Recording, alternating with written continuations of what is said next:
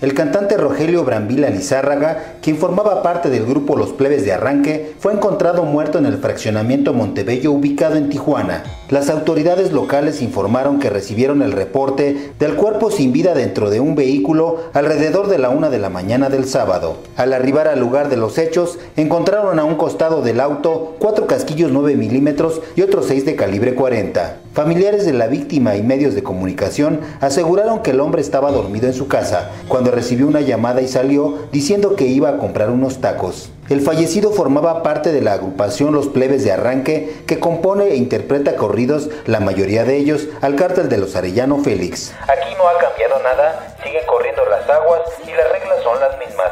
Nos pertenece la plaza, hay dinastía para rato en el cártel de Tijuana.